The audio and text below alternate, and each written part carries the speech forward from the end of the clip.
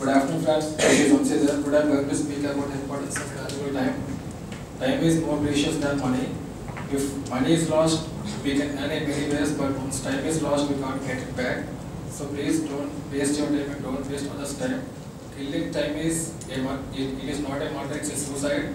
For example, if you study regularly, you don't face any struggles during examination, but if you don't study regularly, you have to face a lot of struggles during the examination. So if you want to lead a better life, you have to manage your time in a proper way. So many people are uh, spoiling their lives because of lack of time management. So my conclusion is, please don't waste your time and don't waste others' time. Thank you.